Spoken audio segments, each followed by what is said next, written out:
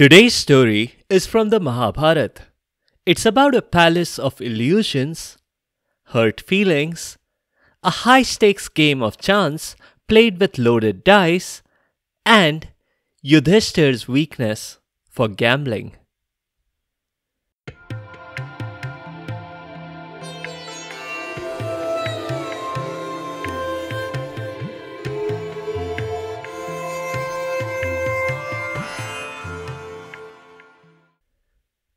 Namaskar and welcome to Stories from India.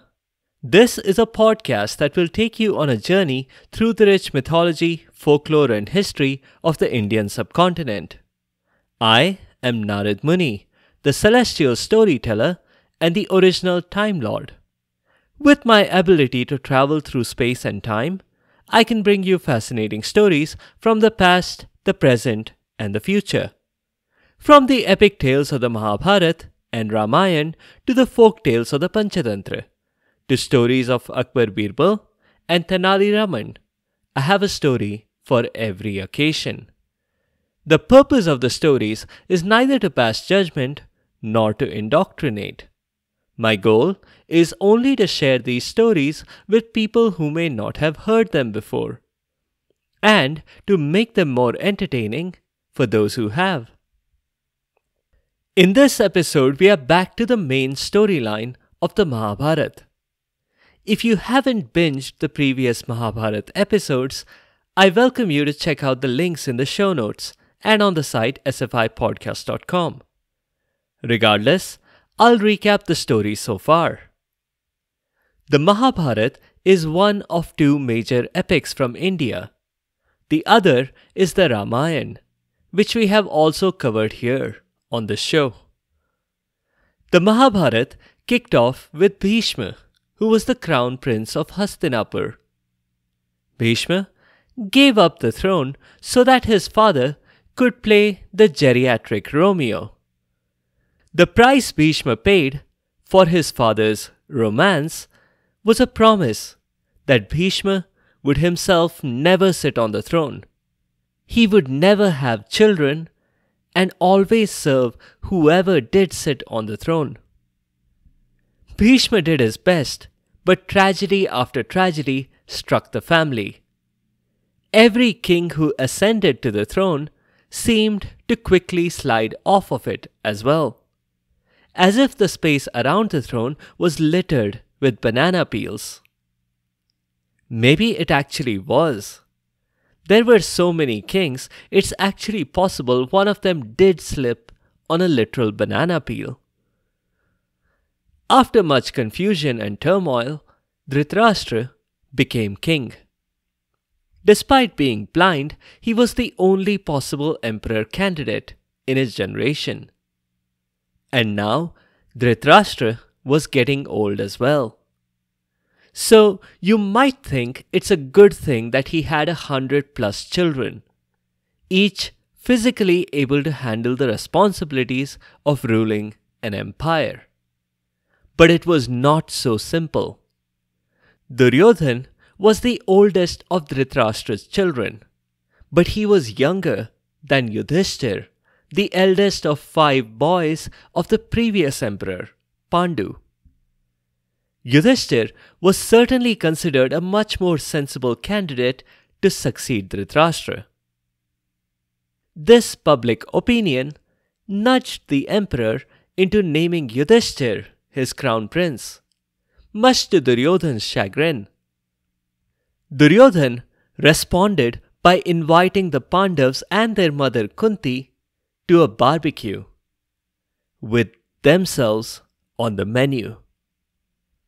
Unbeknownst to Duryodhan and the almost hundred Kaurav brothers, the Pandavas and Kunti escaped. Rather than confronting Duryodhan's dastardly deed, they decided to go on a countryside jaunt, incognito. Along the way, Bhim, the second oldest Pandav, married a demoness and had a child with her. Arjun outdid Bhim he found a bride not only for himself, but for each of his brothers as well. Unfortunately, there was really just one bride across all five brothers. That was because of a ridiculous mix up worthy of a modern day sitcom. Dhritarashtra and all the other Kauravas realized that the Pandavas were still alive. They summoned the brothers and Kunti back to Hastinapur. Duryodhan had already been made crown prince, and there was no chance of Yudhishthir getting his hands on the royal headgear. Duryodhan had his name engraved on it already. Coins and banknotes and posters were all updated. Dhritarashtra, Duryodhan, and Duryodhan's uncle Shakuni gave the Pandavas a piece of land as a compromise. This land was a very dense and inhospitable forest. Through hard work, a bit of help from Krishna, and the god of fire himself, Arjun cleared that forest. From that forest emerged Mayasur, the demon architect who was responsible for incredible creations, including the golden city of Lanka. In exchange for sparing his life, Mayasur promised to construct a massive palace, the likes of which no one had ever seen before. Now, Yudhishthir stood in front of the Maya Sabha and remarked, Oh wow! Look at this palace! It's massive, the likes of which no one has ever seen before. He was not the only one impressed by the Maya Sabha. Arjun was gushing over the fact that he had his own private archery range within his chambers. Nakul and Sahadev had large enough rooms that they would need a horse to get from one side to the other. And that was fine, because their chambers had stables. Mayasur had thought of everything. Bhim had an idea and he elbowed Yudhishthir in the ribs and said, You know, bro, how you were saying just yesterday that our little kingdom needs a revenue source? We can use the ring in my chambers. We can stage prime time wrestling matches there, and people will pay to see folks fight. We can charge for admissions, and the pay per view television rights will rake in a bunch of money as well and it won't cost us a thing.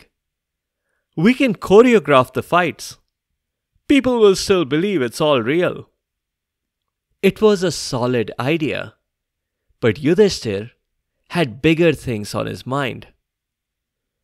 Before we do dull things like earning money, we need to express our gratitude, he said. Eh?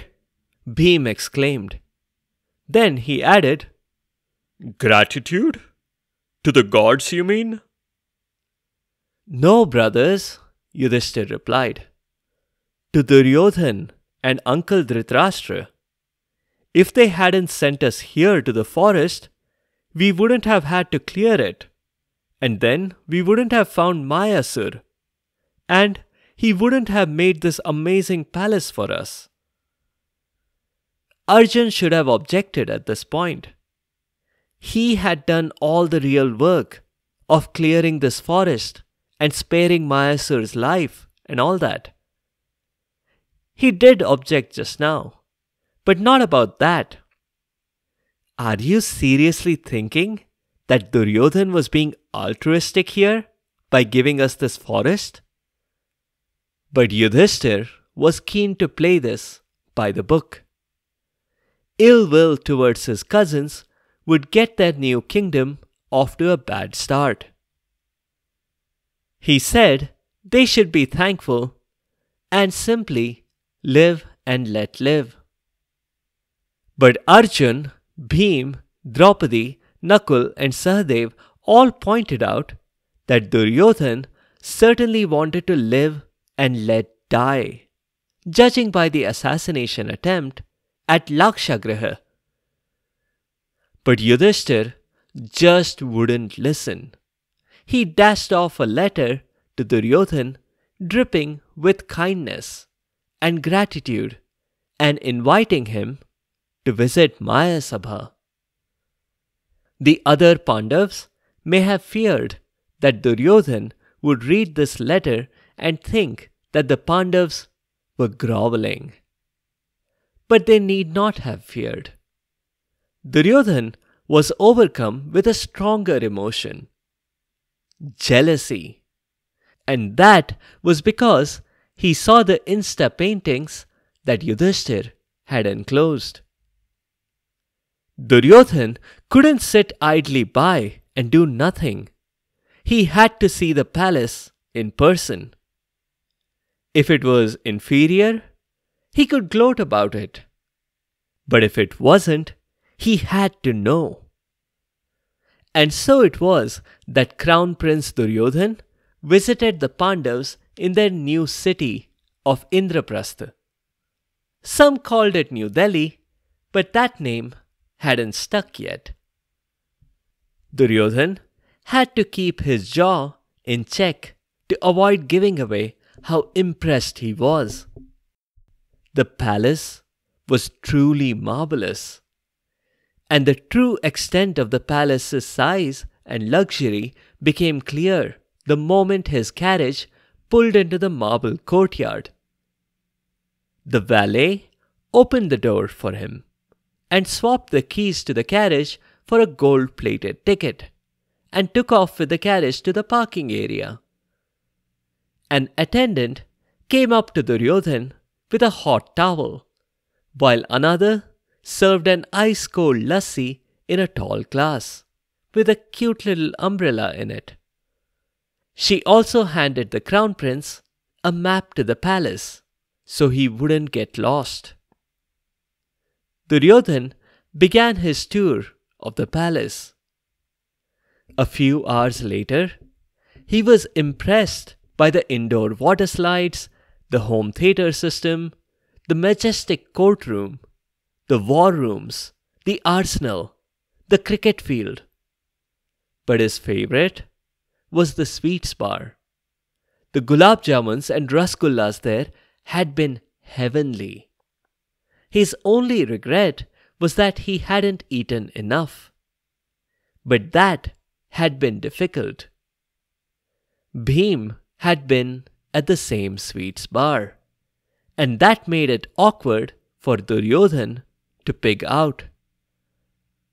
Duryodhan eagerly grabbed another glass of lassi that the hostess offered him.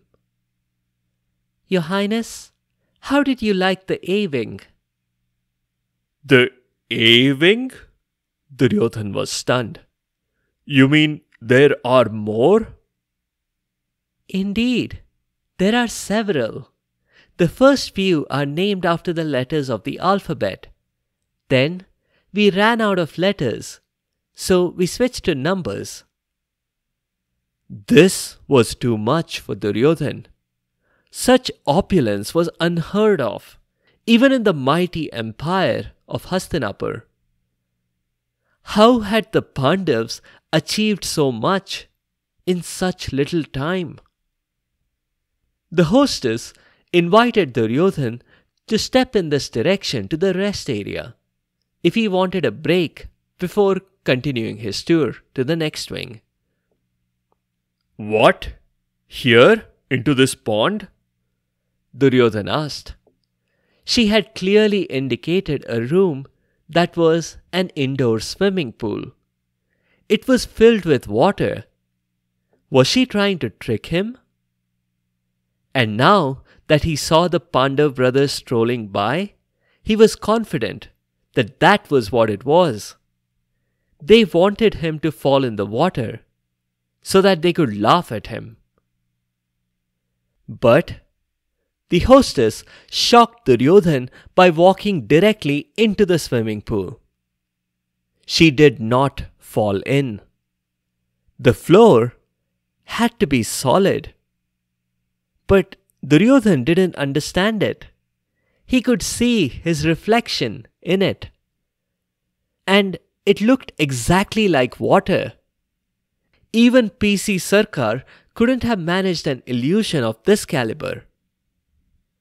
Duryodhan chuckled nervously and stepped forward. And to his enormous relief, he didn't fall in either. This was a truly marvelous design.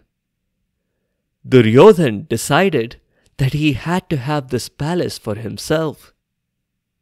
He strolled into the next room, and he saw it was just like this one. It was also made up to look like a pool.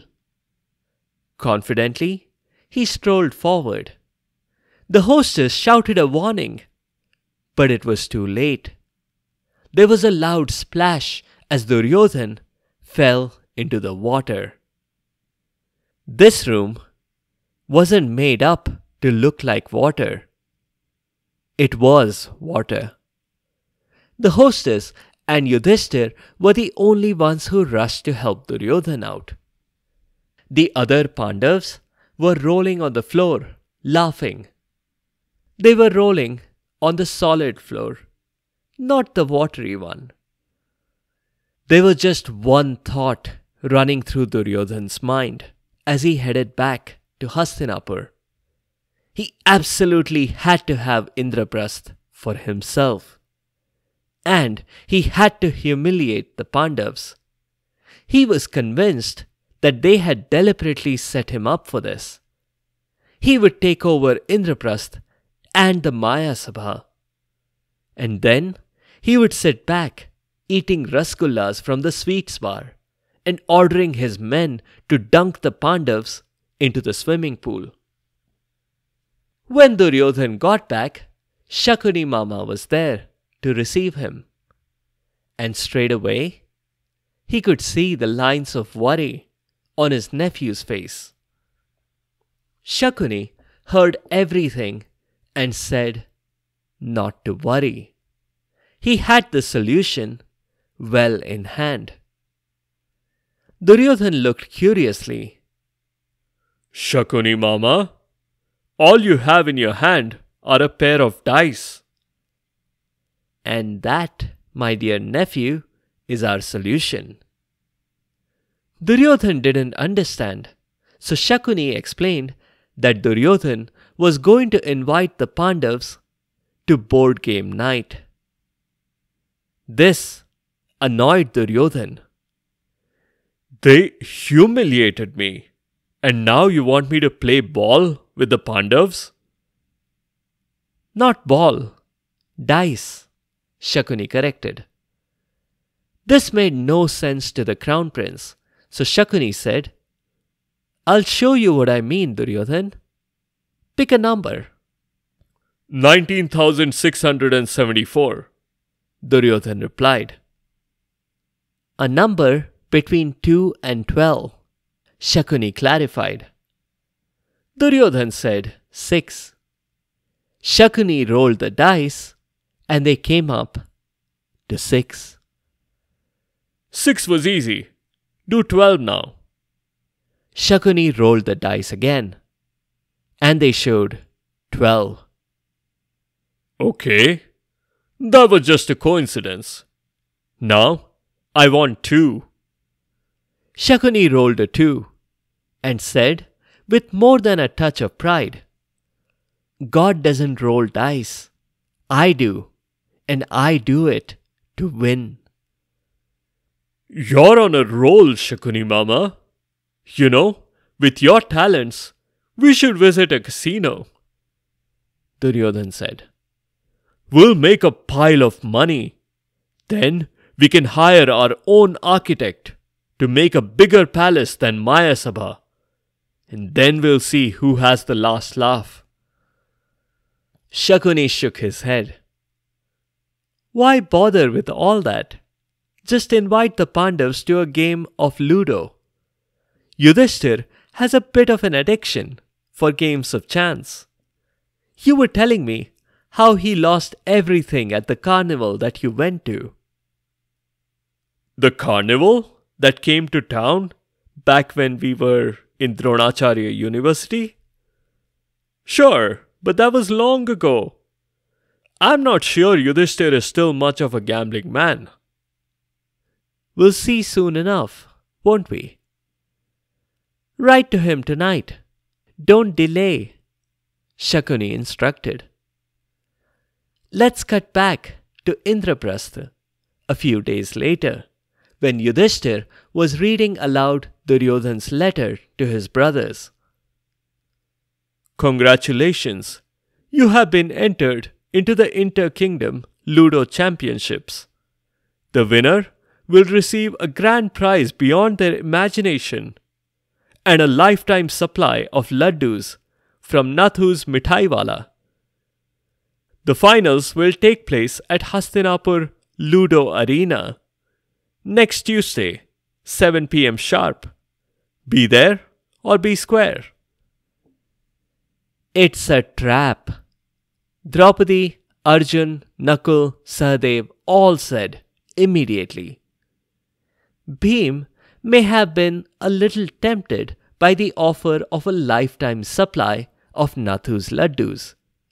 But despite that, he thought the situation felt a little dicey.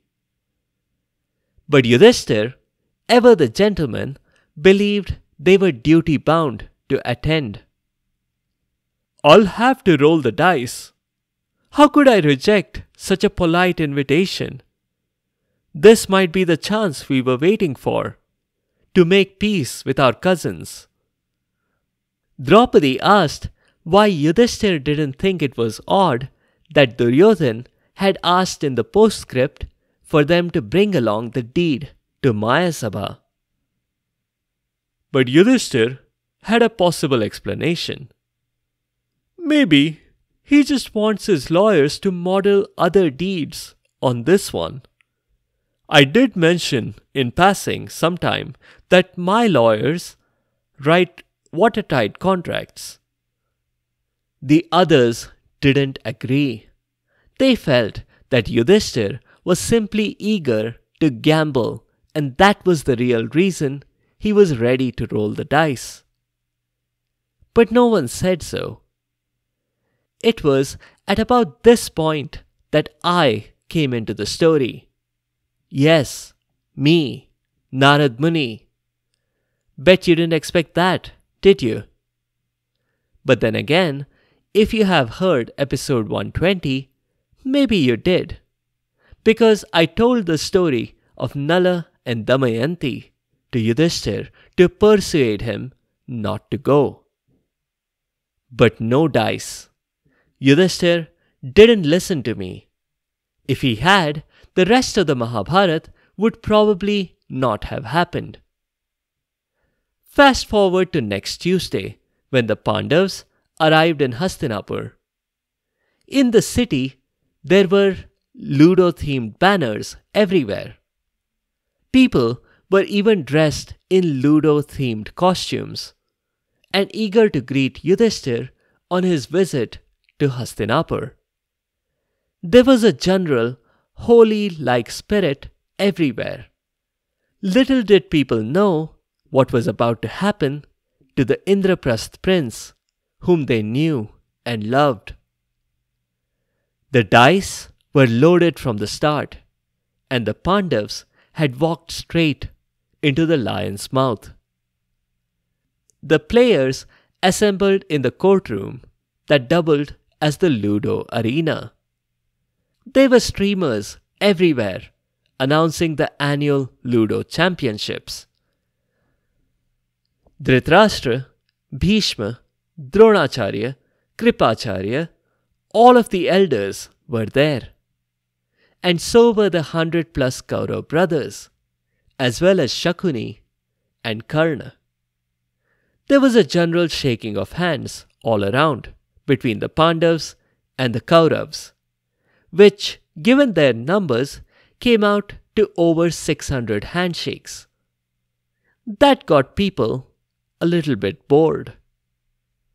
Draupadi opted not to stay. She made her way to the guest rooms and the library. She preferred to curl up with the latest royal gossip magazine instead. And finally, the action got underway It was Pandavs versus Kauravs. Duryodhan complained that his hand was a little sore, don't you know? And that his mama, Shakuni, had graciously agreed to roll the dice on his behalf. Yudhishthir didn't mind, and he even wished Duryodhan a speedy recovery. Yudhishthir rolled the dice and got a 12. Calmly, he moved his counter forward 12 steps. Nice way to begin the game, he thought. Shakuni's turn was next. Duryodhan hoped for a 12, but the dice came up on 2. The crown prince was more than a little miffed. What was Shakuni doing here? He looked sternly at his mama, but Shakuni remained calm. The game went on, and it seemed to all be going the Pandavs' way. Within 20 minutes, the annual Ludo Championship was over. The Kauravs had lost. Duryodhan was more than angry, but he couldn't yell at his uncle. Not in front of the Pandavs, anyway. The grand prize was unveiled a latest model chariot with a giant size key for the Insta painters in the press gallery.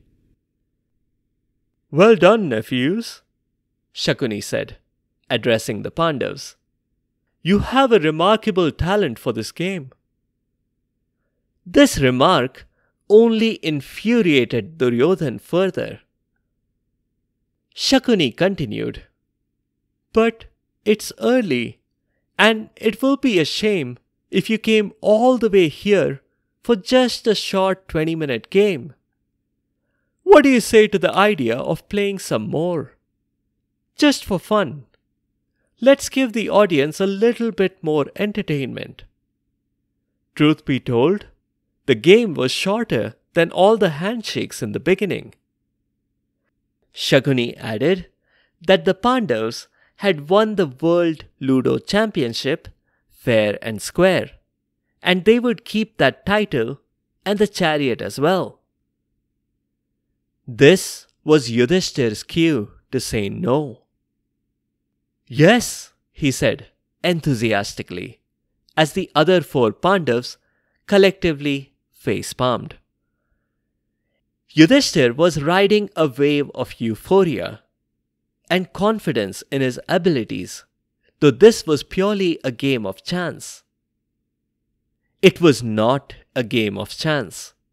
Shakuni had deliberately let Yudhishthir win the championship, only to bait him into higher stakes. Hey, if Yudhishthir won once, it meant he could win again, couldn't he? They started off with a small bet just a thousand gold coins, and slowly progressed from there. It was not one sided. Not in the beginning, at least. Shakuni let Yudhishthir win enough to keep his hand in the game. But before he knew it, Yudhishthir had wagered not only all his gold and his palace, but the entire kingdom of Indraprastha. Yudhishthir should have stopped then. But Shakuni offered an especially sweet deal. If Yudhishthir won the next round, he would get everything back. Indraprasth, all his gold, his chariots, horses, armies.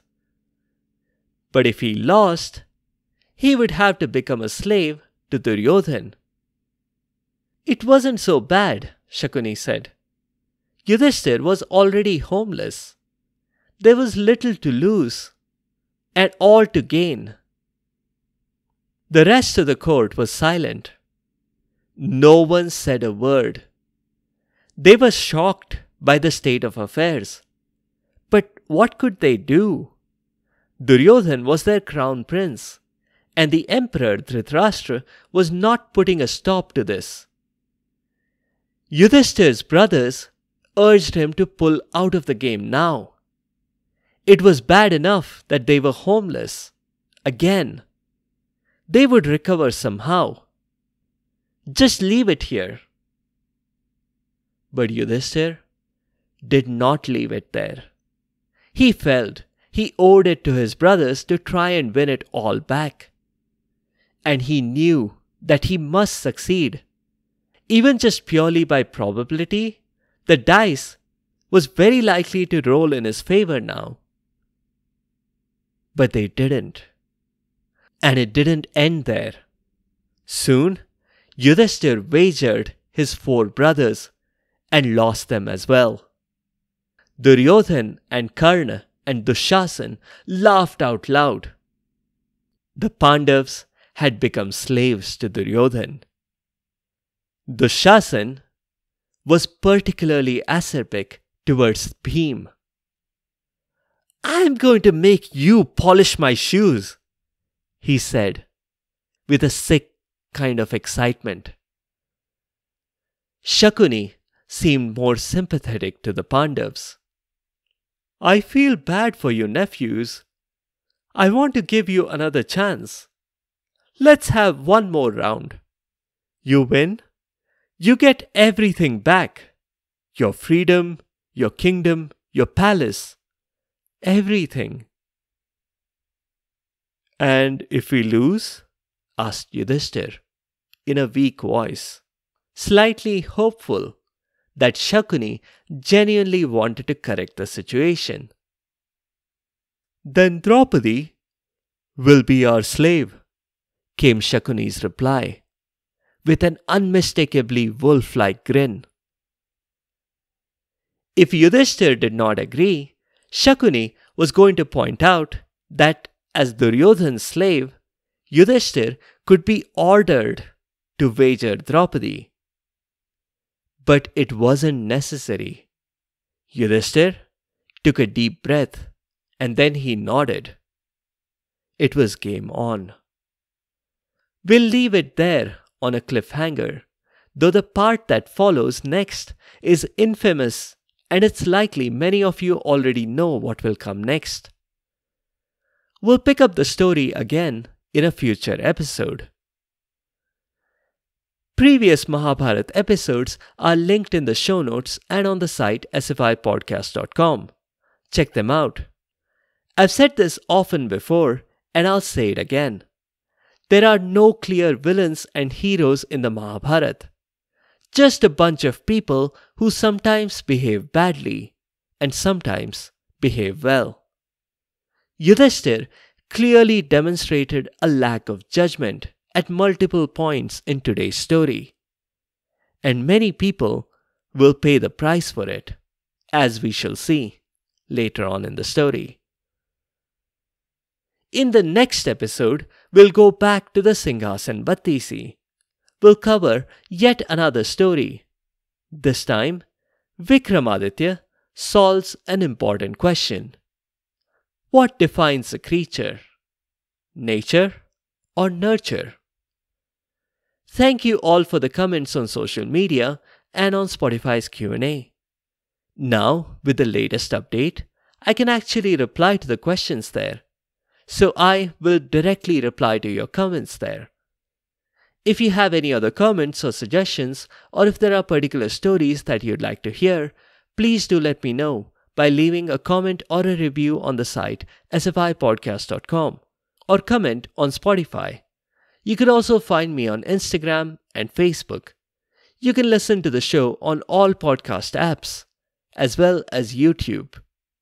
If you want to send me an email, it's storiesfromindiapodcast at gmail.com.